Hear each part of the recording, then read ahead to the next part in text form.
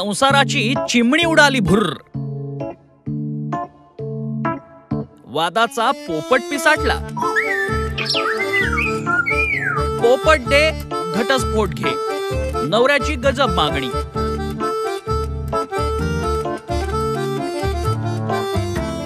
पुणं तिथं काय उण? असं उगाच म्हणत नाहीत.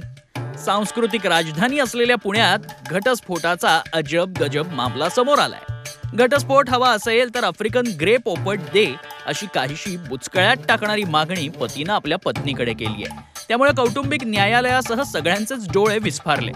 हा नेमका प्रकार तरी काय आहे? बघूया. दोन हजार एकोणीसमध्ये या दाम्पत्याचं लग्न झालं. मात्र त्यांच्यात वारंवार भांडणं होऊ लागली.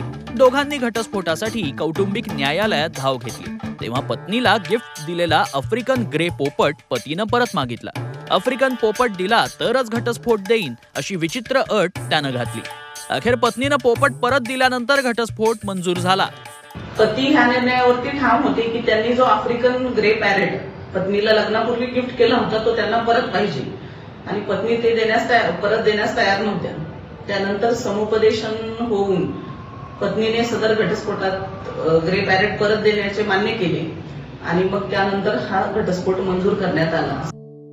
घटस्फोटासाठी दागदागिने फ्लॅट जमीन रोख रक्कम अशी स्थावर जंगम मालमत्ता साधारणपणे मागितली जाते. मात्र एका पोपटामुळे घटस्फोट मंजूर झाल्याचं हे प्रकरण सगळ्यांनाच आश्चर्याचा धक्का देणार आहे.